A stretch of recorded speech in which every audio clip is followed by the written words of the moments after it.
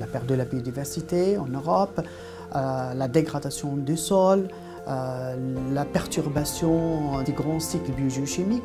Ecology and environmental sciences are at a watershed moment. Il y a des changements environnementaux dus aux activités humaines qui se font à une vitesse sans précédent dans l'histoire évolutive des, des écosystèmes. Il faut qu'on s'adapte à ça. Donc il faut qu'on développe une autre manière de faire de la recherche pour pouvoir répondre aux grandes questions de la sécurité alimentaire, de la conservation de la biodiversité, de la durabilité des écosystèmes.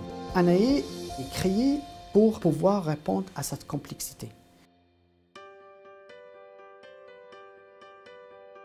En Europe, vous avez euh, un climat méditerranéen, océanique, continental ou baltique.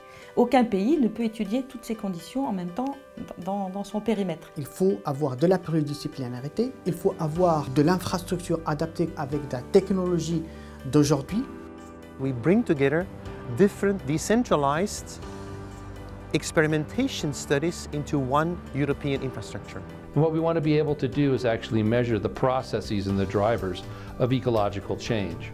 ANAE combine deux approches expérimentales différentes et complémentaires. La première, ce sont les expérimentations in situ, donc les manipulations des écosystèmes pour euh, prédire leur fonctionnement dans différentes conditions euh, d'environnement. La deuxième, ce sont les, études in vitro dans des conditions beaucoup plus précises, avec des mesures de plus de processus et avec une meilleure précision sur ces processus aussi.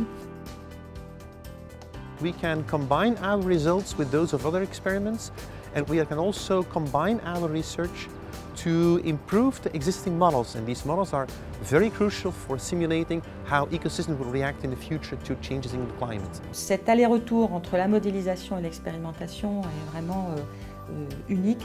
Il y a d'autres infrastructures euh, plutôt d'observation avec un enregistrement régulier d'un même paramètre euh, physique, des bases de données aussi qui sont très utiles hein, pour la recherche en environnement.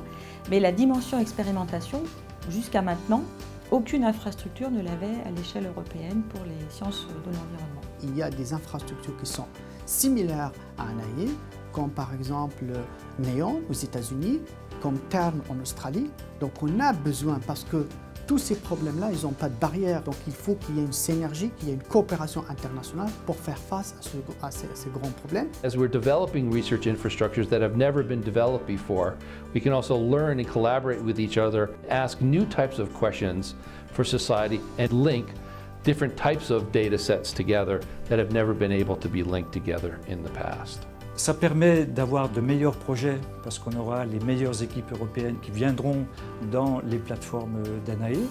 Ça permet effectivement de gagner au niveau financier. Au lieu de faire trois ou quatre expérimentations qui seront incomplètes les unes par rapport aux autres, on n'en fait qu'une seule ensemble et on a des résultats beaucoup plus pertinents.